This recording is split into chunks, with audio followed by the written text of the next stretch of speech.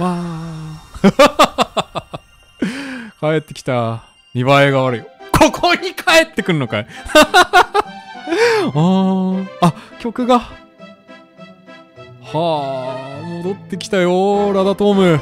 ライト界ラダトーム。これあ物がないままか。あれは全部ロストしてしまったんですかね。装備もない。みんな 帰ってきたよ。おお帰ってきたよ。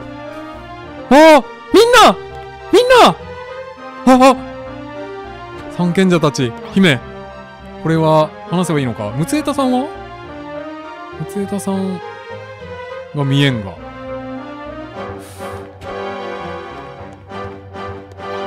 ああいたわ。あれなんか逆の方向向いてね。エルさんもじゃない？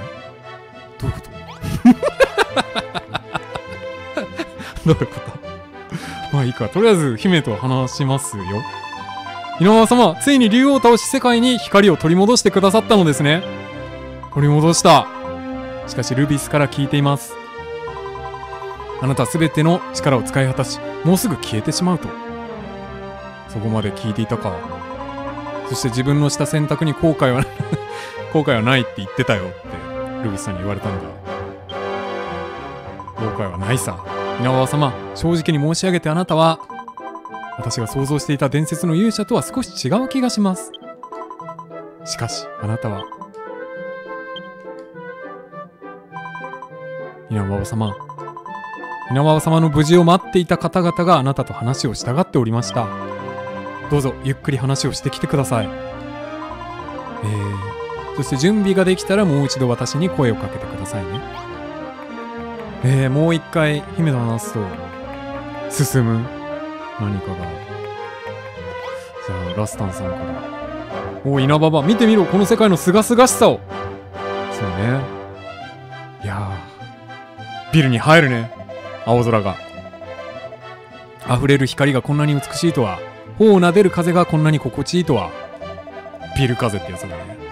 世界が闇に閉ざされて一つだけ良かったことがある。それはいつも当たり前にあるものの美しさや素晴らしさに気づけたことだ。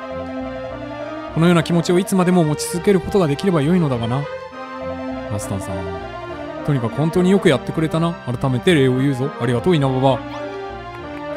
まさかお前が。拍手嬉しいね。モーレンさん稲葉殿竜王と戦った時竜王とは何か言葉を交わしたのですか？いくつかね。なぜ竜王は人思いに人間を滅ぼさず物を作る力だけ奪ったのか。うん僕はずっと気になっていたのです。竜王は悪の権下とはいえそれは人間の立場から見た場合の話。竜王は仮にも王の中の王と言われているほどの魔物です。ただ単純に世界を壊したいとか何の理由もなく人間を滅ぼしたいとかいう子供っぽい魔物でないのなら何か考えがあってのことだったんでしょう。うん何が正義で何が悪なのか立場によって違ってくる。なかなか興味深いものですね。素晴らしいです。資料深い人だなオレンさんは。なチョビドロルは？チョビドロルいるいたわ。とりあえずムツエタさんかな。ムツエタさんチョビドロル三賢者っていこうか。の稲葉はわしはずっと昔から思っておったことがある。神や精霊や占い師とはなぜにああも意味深な言い方をするのかの？そなたの責務にしても聖なる祠を作る素材にしても最初にズバッと言っておいてくれればあのような苦労をせずとも済んだのに。そうね。全く何でもかんでももったいつければいいと思いよってからに。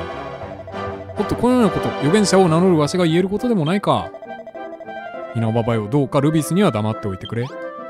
おおそなんで走って。冠良者ちょびドロル。ああ稲葉はドロル。世界の闇を晴らしていただき感謝します。しかし稲葉はドロル。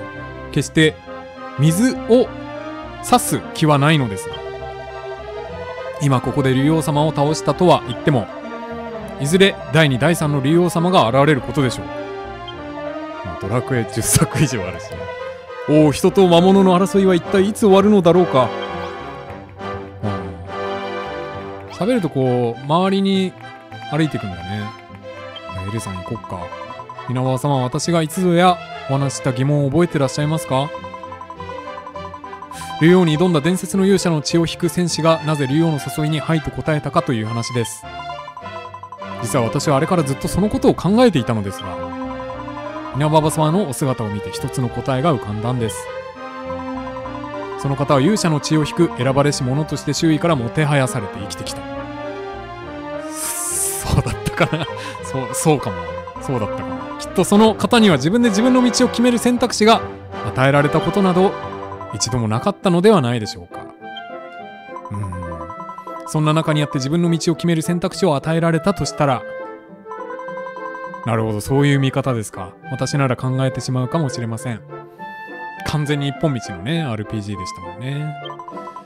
自分がここでもし「はい」を選んだらどうなるんだろう。その方はきっと世界の半分が本当に欲しかったわけではないと思うのです。そうだと思います。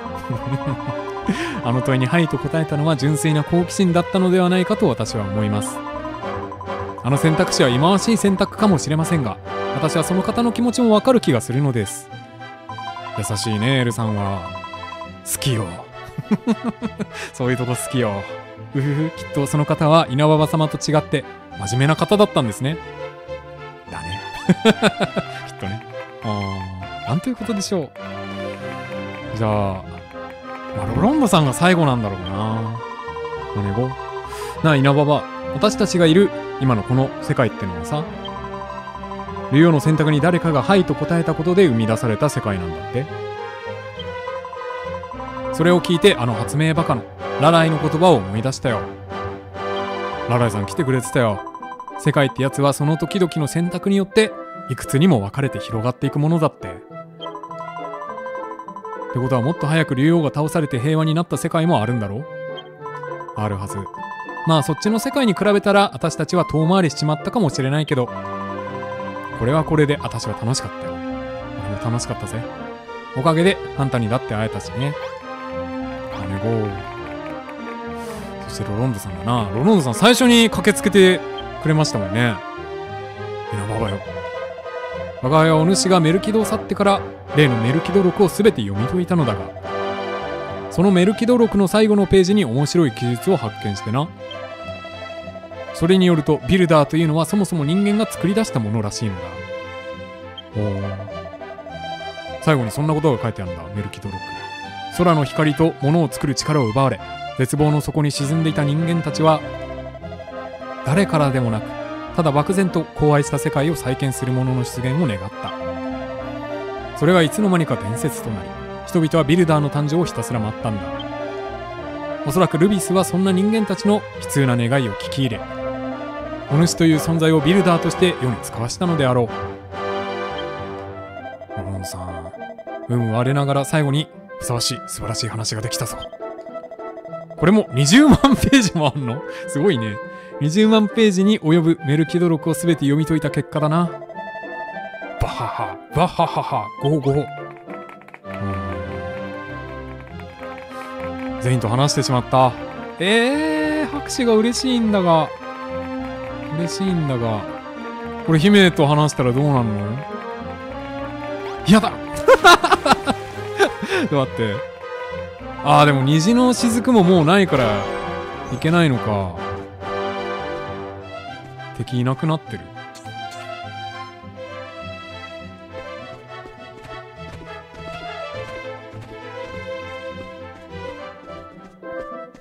見えない壁がある。これ以上進めない。そうなんだ。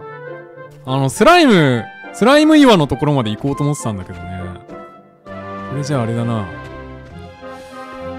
喋れるキャラクター他にいないね。っていうか灰色のところは灰色のまま残ってるんだね。まああれはあれでね世界のね一つのあり方ではありますもんね。灰色のブロックもそれはそれで趣あるもんな姫と話すか。てか時計も進んでないな。うん。話しますか。お稲葉様。皆様とのお話はもうお済みなのですか？実はこれから世界に光が戻ったお祝いに。ああささやかな宴を開こうと考えていたのです。では稲葉様宴の準備はよろしいですか？いいよ。稲葉様。改めてではありますが竜王を倒し世界をお救いいただきありがとうございました。これは物を作る力を持つあなたでしか成し得なかったこと。稲葉様あなたは精霊ルビスが選んだ勇者ではないのでしょう。私が思い描いていた伝説の勇者とも少し違っていました。しかし月並みかもしれませんが私はこう思うんです。勇者だから何かを成すのではなく何かを成したから勇者なのだと。そうです。その通りだと思います。私やみんなにとって稲葉様は誰よりも立派な勇者様です。稲葉様ルビスは言っていました。あなたの体が消えてなくなるのはもはやどうしようもないこと。しかし皆が望めばきっとまたあなたに会うことができる。それはどういうことだ？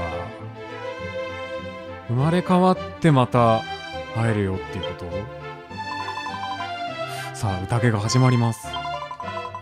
稲葉様共にアレフガルドの復活をお祝いしましょう。わーおーえー、なになになにすごい。三賢者かわいいね。わー。あなるほどね。いやークリアか。めっちゃいいねエンディングね。曲よ。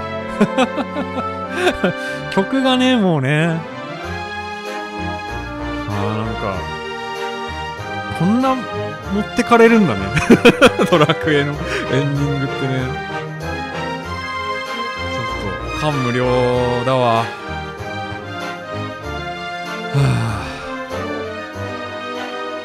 ちゃめちゃ面白かったね。ミルターズね。一瞬でしたわここまで。多分ね俺がクラフト系のゲームほぼ初めてっていうのもね、あるんでしょうけど、多分さ、今後、この手のゲームをやったとしても、あんな純粋に、素材集めってできないじゃない？最初にさ、土ブロック入手した時、やっぱちょっと感動しましたもんね。これがブロックかっていうね。集めないとっていう 詰めるっていう積もうみたいなね。最初はさ、それすらほんと楽しいんだけどもうね拠点4つ作った今では一切ないけど 完全に作業ですけど最初の頃の全てにあのおおってなってる様をね動画に収められたっていうのは 結構貴重なことなのかなってね思いますけど。まあ「剣心ドラゴンクエスト」をねやってたっていうのもあってストーリーがねそこを下敷きにしてるっていうのは知ってたからもう発売した時からね、ビルダーズは絶対やんないとなって思ってたんだけど、ただ評判聞くとね、みんななんかそこまで絶賛っていう感じでもなくて、まあ、俺の周りだけかもしれないけどさ、ちょっとクラフト部分がストレスとかね、カメラ視点のね、問題とかね。まあ俺も感じなくはなかったですけど、あれなんか暗いみたいな。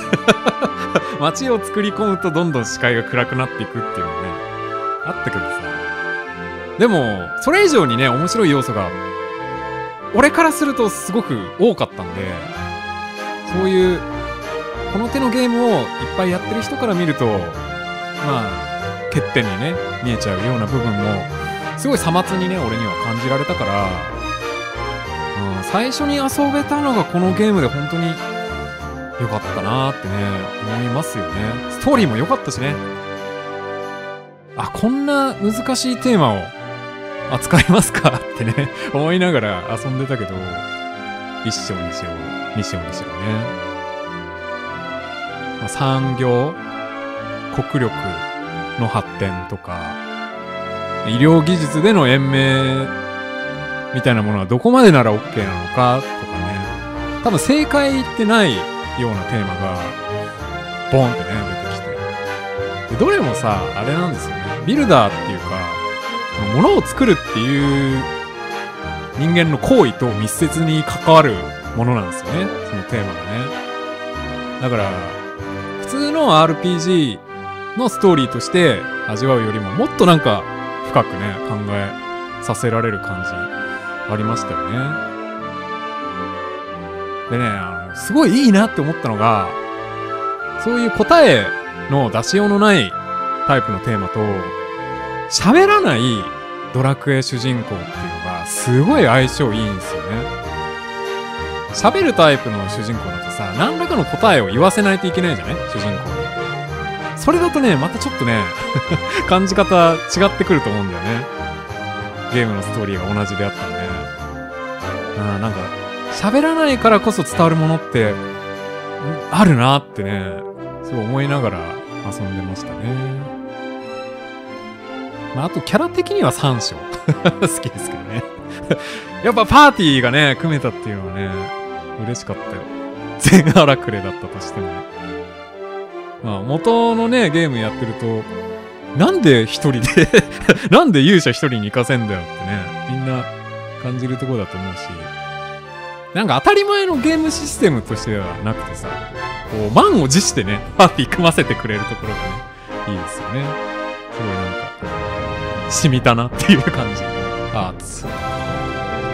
コントローラー放置すぎて暗くなっちゃった。でもこれで終わりだね。わー。終わってしまった。で、ここから、ちょっとあったりするのかな？どうかね？あこれは誰が言ってんだ？ゆうべはお楽しみでしたね。おえ？え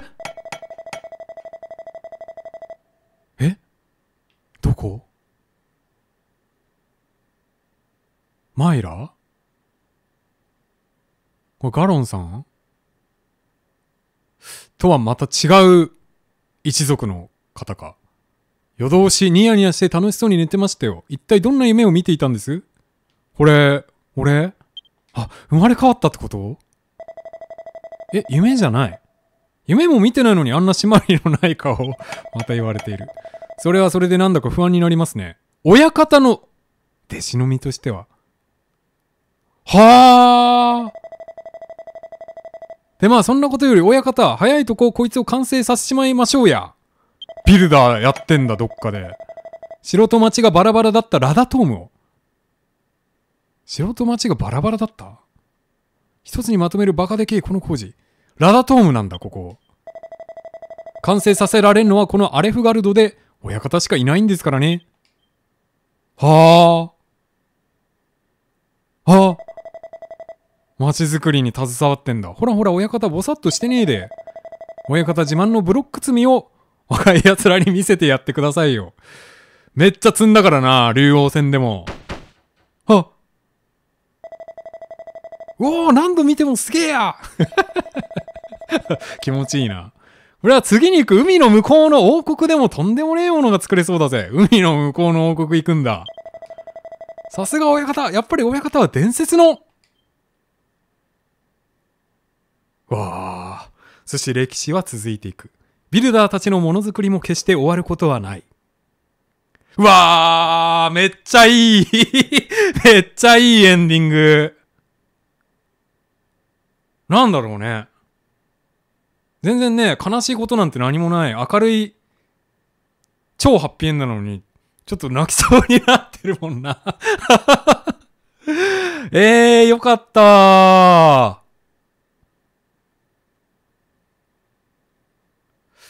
ビルダーやってんだねのありますか。166日。ああ。やったぜ。チャレンジ情報全部いけてるかなロトの伝説アイテムが作れるようになった。スコアはまあまあ、今までのに比べるとね、そこまでですけど。うん。知られざる島で滝の作業台、全部兼ねてるってこと？それめっちゃいいね。それはむずいな。伝説の防具を持たずに竜王を倒すんだ。はー。防具なの？武器はいいの？武器がいいんだったらいけるかな伝説の防具持たないで、例えば鋼の鎧とかで言ったらどうなるのかね？なくなっちゃうのかな？裸で倒すってこと？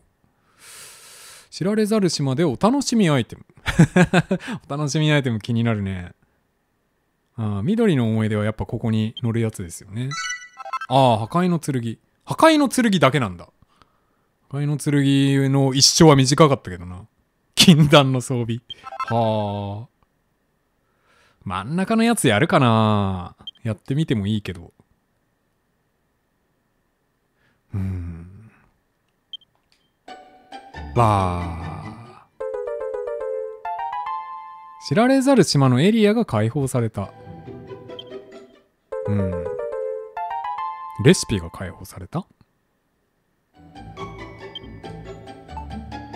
選ぶことはできましたもんね、今までもね。なるほど。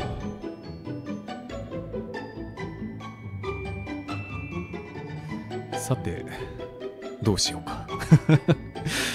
とりあえずさ、知られざる島は覗きたいですよね。どんな感じのモードなのかは見たい。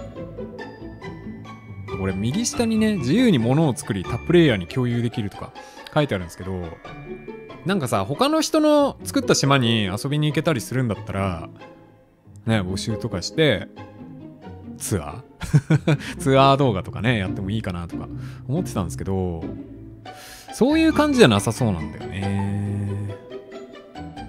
まあ、ちょっとやってみたい。あとは、チャレンジ情報ですけどね。あんまトロフィーコンプ的なことにね、燃えるタイプではないんだけど、うん、ただ、なんかスルーしちゃったね、イベントとかあるんだったら。スライムの王冠とかね、謎だしね。この辺は見たいよな。一生とかね、割と、チャレンジ回収できてないしね。うん、チャレンジ梅まずしますか。で、まあちょっとおまけ動画的な感じにね、できたらしたい。作れたら作るわ、ぐらいの感じ。